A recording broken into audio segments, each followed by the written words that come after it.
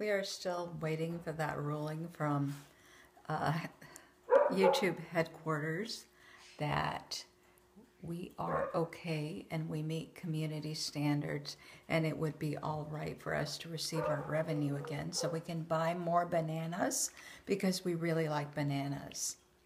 Though we buy other food too. Um, so you guys have been asking me, what do you think that Bow will dress up in?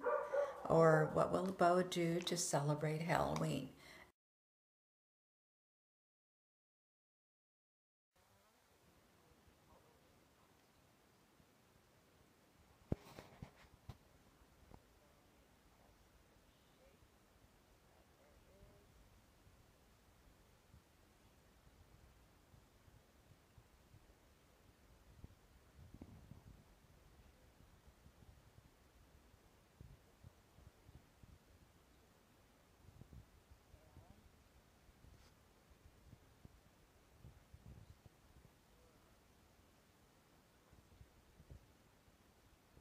One of them is a, a Star Trek costume. So I was wondering whether Bow might be interested for two seconds or so uh, in putting on a Captain Kirk shirt. But it's really up to him. I do not control Bow.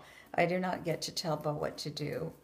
Uh, it's really a lot different from what people think. They think, "Oh my goodness, you put a, keep him in a cage and he's uh, got these bare floors and he hasn't got any toys and all of this kind of stuff. Bow has toys. He can ask for any toys he wants to most of the time.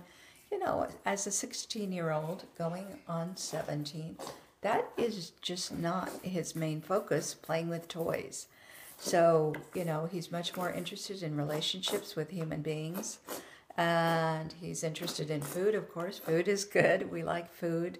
Food is always a good thing to have, and we we do have a variety of foods that we eat.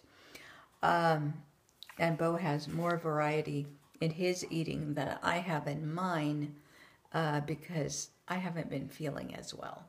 But we're going to change all that. I'm going to get to feeling just as good as Bow is and getting to eat more variety of foods too.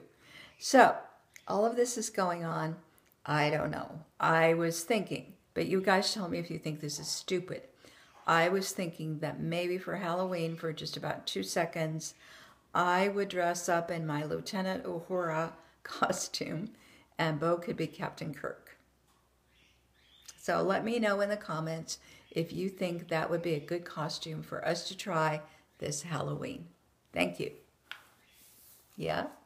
You're so kind. You're so kind to me. yeah, you are. You're so sweet.